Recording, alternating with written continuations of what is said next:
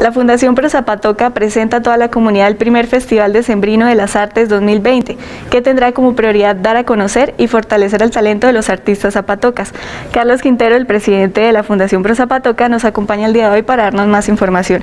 Carlitos, muy buenos días y bienvenido. ¿Cuál es el principal objetivo de este festival?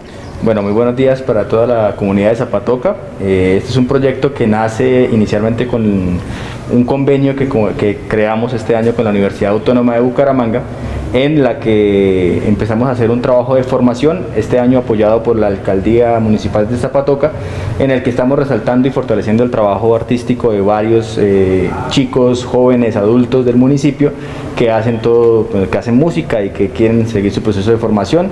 Entonces digamos que como un, como un proyecto final de este proceso de formación, quisimos eh, proyectar el, primer Festival de Sembrino de las Artes, que es un proyecto que queremos institucionalizar. Eh, pues estamos en el Teatro Mayor de Zapatoca, que es el espacio más importante de cultura en el municipio.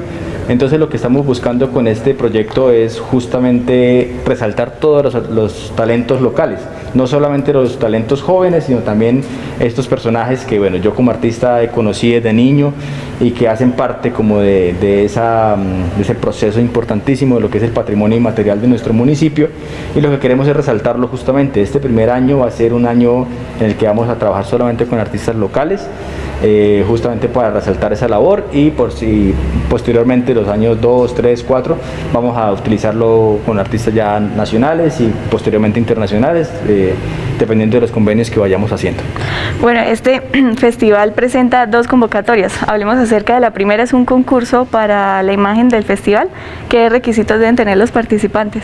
Sí, dividimos el festival. Eh, bueno, el Festival de Sembrino de las Artes es un evento general, solamente que quisimos también resaltar eh, a estas agrupaciones, a estos artistas, perdón, locales que, trabajan todo el tema de pintura, el tema pues, artístico eh, de cualquier índole, óleo, eh, lo que sea.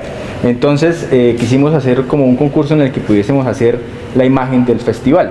este concurso digamos que tiene como propósito eso, que tengamos un aliciente económico para la comunidad de Zapatoca, para estos artistas que quieran participar eh, el único requisito que hay es presentarlo, presentar la propuesta de la imagen. Eh, hay un link y hay un, formulario que se, que se, hace tanto virtual como, como en físico. Eh, y digamos que la idea es que sea una imagen alusiva pues, a diciembre, a las artes y a Zapatoca.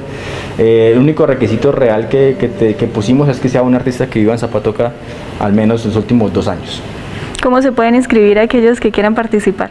Pues pueden tener información por la fundación, por la página de, Facebook de la Fundación Pro Zapatoca, eh, también en Circo Burger, también en Ambrosía tenemos eh, eh, los, em, formularios para inscribirse y tenemos el link virtual que también lo pueden conseguir conmigo en mi, en, mi, página personal o en mi correo, en el correo de la Fundación Pro Zapatoca, que es fundacionprozapatoca.gmail.com. Bueno, ¿cuál será la recompensa para el ganador de este primer concurso? La recompensa va a ser, eh, tenemos dos, dos opciones, eh, como mucha gente sabrá, eh, la fundación digamos que compró el teatro por medio de las sillas simbólicas que se compraban llevamos eh, vendidas alrededor de 300 sillas del teatro, con eso logramos comprarlo, eh, logramos hacer una restauración general. Eh, entonces digamos que el aliciente es o una recompensa monetaria de 400 mil pesos o su equivalente si el artista desea comprar una silla, pues sería el acto simbólico de tener la silla en el teatro con su nombre. Listo, ahora la segunda convocatoria, ¿de qué se trata? La segunda convocatoria ya es la convocatoria del festival como tal, en la que buscamos que todos los artistas, como decía anteriormente, los artistas locales de las veredas, de la zona urbana, jóvenes, eh, mayores que quieran participar, vamos a tener ocho, la idea es tener ocho agrupaciones, las cuales vamos a escoger mediante un jurado, y esas ocho, esas ocho agrupaciones tendrán una, una grabación en el teatro, eh, justamente de la mejor calidad, eh, una entrevista y vamos a hacer como un proceso de concierto virtual en el que se va a transmitir por las redes sociales. Y va a tener, eh, cada agrupación tiene un apoyo monetario de 150 mil pesos por parte de la fundación. Es una manera también de, de tener como un aliciente, la fundación siempre como dice su nombre, es una, fundación pro Zapatoca a favor del municipio y, en este caso, teniendo la parte cultural, queremos hacer un, un, pequeño aporte a lo que son los artistas locales para que sigan haciendo su labor. ¿Qué criterios tendrán en cuenta para escoger estas ocho agrupaciones? Pues los criterios son muy sencillos, creo que es más calidad, eh, calidad artística, eh, la reseña artística, eh, digamos que básicamente eso es lo que vamos a trabajar. No va a ser una curaduría muy, muy estricta, porque justamente lo que queremos es que estén las agrupaciones también más tradicionales del municipio y justamente contemos esa historia eh, del patrimonio inmaterial del municipio que no se ha contado y que está todavía en un, en un stand-by que tenemos que no olvidar a estos grandes artistas que son la fuente inicial de los artistas que hay hoy en día en el municipio. Para los artistas que aún no se han inscrito, ¿cómo pueden hacerlo? También, de la misma manera, por medio de Circo Burger, en Ambrosía también hay formularios de inscripción, en las, en las redes sociales de la Fundación Pro Zapatoca, eh, en las mías propias también pueden, pueden comunicarse conmigo, hay unos links virtuales y están los, los, los, formularios eh, físicos. Bueno, en esta segunda convocatoria no habrá un ganador como tal porque es un festival, entonces ¿qué beneficios tendrá cada agrupación? Eh, sí, el beneficio va a ser ese video que va a quedar en, en excelente calidad, con una pequeña entrevista cada agrupación, un concierto, será como un concierto en vivo pero sin público eh, y va a quedar pues con ese registro audiovisual y la ayuda monetaria de 150 mil para cada agrupación. ¿Y hasta cuándo hay plazo para inscribirse? Los plazos están hasta el 30 de noviembre eh, para inscribirse a cualquiera de, las dos, de los dos concursos. Es muy probable que lo ampliemos hasta el 7 o 10 de diciembre. El festival se va a hacer el 18 y 19 de, de diciembre, perdón, eh, por las redes sociales a las 5 de la tarde, es la idea. Eh, entonces la idea es tener como un margen de 10 días de escogencia y de grabación de los videos. Bueno, también coméntanos acerca de ese proceso de formación que hubo con la Universidad Autónoma, de Bucaramanga. La Fundación Pro Zapatoca eh, firmó un convenio este año con la Universidad Autónoma de Bucaramanga, en especial con la Escuela de Música de la Universidad Autónoma, para generar procesos de formación, procesos de acompañamiento de parte de la, universidad a los procesos que hagamos culturales aquí en el municipio. Y este año contamos con la valiosísima, el valiosísimo aporte y apoyo económico de la Alcaldía Municipal de Zapatoca, que quiso también unirse a este proceso y lanzamos un primer proceso de formación en coros y cuerdas tradicionales. Eh, la idea de este proceso es que se mantenga y tengamos una alianza constante no solo con la universidad, que ya tenemos un convenio por cinco años, sino también con la alcaldía para fortalecer los procesos de la Casa de la Cultura. Este año, pues obviamente todo, gracias, bueno, o por culpa de la pandemia realmente, todo fue virtual. Eh, pero planteamos el año entrante empezar a hacer procesos ya presenciales y podamos aprovechar este, este espacio, que tenemos un espacio que muy pocos municipios en el país tienen de este tamaño eh, con, con relación número de habitantes.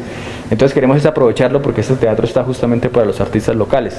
Vendrán muchos nacionales, muchos internacionales, pero nuestra apuesta como Fundación Pro Zapatoca es que el talento local sea lo prioritario. Bueno, ya para finalizar, ¿qué invitación le dejas a toda la comunidad, a todos los artistas de la comunidad para que participen en este festival? Bueno, yo como artista del municipio que me crié, nací, me crié y bueno, hice mucho de mi proceso formativo musical aquí en Zapatoca, quiero invitarlos a todos, a todos eh, rurales, urbanos, que hagan música tradicional, que hagan música de diferentes géneros, a que utilicemos este espacio, este espacio de la Fundación Pro Zapatoca, el teatro también hace parte de ese, esfuerzo que hacemos muchos artistas, muchos amigos, muchas personas que están comprometidas con el arte, la cultura y sobre todo la parte social, que es el resultado de, una buena organización cultural y artística. Y entonces es como una invitación a que siempre estemos aquí en el teatro. El teatro siempre va a tener las puertas abiertas para todos los artistas locales que quieran hacer, si tienen una convocatoria, si quieren hacer, aplicar alguna, algún proceso, el teatro siempre va a estar abierto para que lo puedan utilizar. Y sobre todo estos espacios, estos espacios como el festival es, un, es una intención que tenemos justamente de generar cada vez más movimiento. Eh, tenemos muy buenos artistas en el municipio, entonces queremos que ellos también se muestren a nivel nacional. En las redes sociales tienen una gran ventaja, es que todo eh, viaja por el mundo de, de manera casi que a tiempo real. Entonces es esa invitación, participen. Eh, yo como artista voy a estar aquí también eh, siempre con las puertas abiertas para todo tipo de asesoría y de proyectos que se quiera manejar. Eh, como presidente de la Fundación Pro Zapatoca, digamos que nuestro compromiso o mi compromiso también, tanto como presidente como, como profesional, es justamente fortalecer los procesos locales del municipio. Bueno, Carlitos, muchísimas gracias por tu participación. Bueno, muchísimas gracias a ustedes y de verdad que cordialmente invitados todos los artistas del municipio a que hagan parte de este proceso. Si tienen alguna duda, si de pronto no saben cómo hacer el proceso, los invitamos a que pues, se comuniquen tanto con Leonel Lotero como con Carlos Quintero, con, las páginas de la Fundación Pro Zapatoca, en Circo Burger, en Ambrosía, tendrán toda la información necesaria para que participen.